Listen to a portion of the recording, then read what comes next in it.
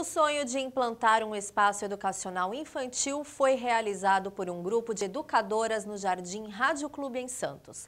Trata-se da Associação Mundo Novo, que oferece creche gratuitamente para mais de 100 crianças. Nesta casa são atendidas crianças de 1 até 3 anos e 11 meses de idade. A presidente da instituição conta qual a proposta da creche. A proposta é atender as crianças que as mães necessitam desse trabalho para que elas possam trabalhar, estudar e as crianças que precisam desse atendimento para passar o dia tendo alimentação, tendo um lugar para ficar, com atividades pedagógicas, atividades educacionais e para brincar. Em atividade há 12 anos, Ângela revela como tudo começou. A Mundo Novo era uma escolinha particular que funcionava aqui na Álvaro Guimarães e que o dono não estava conseguindo mais levar e aí eu e outras meninas estagiárias entramos para fazer estágio, para acompanhar as crianças e nós começamos a tocar o projeto de uma creche que funcionava das 7 da manhã até as 7 horas da noite.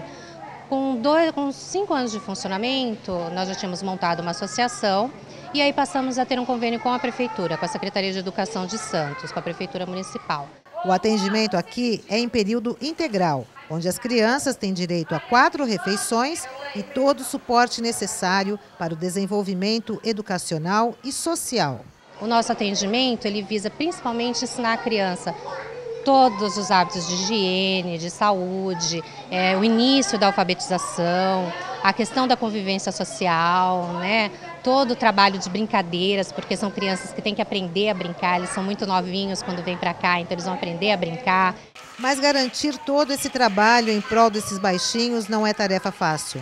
Segundo Ângela, apesar da verba da prefeitura, os recursos não são suficientes para todas as despesas da creche porque a parceria com a prefeitura ela permite que a gente mantenha o básico de uma entidade, o básico da creche, que é a alimentação e os funcionários e aluguel do, do espaço, do imóvel.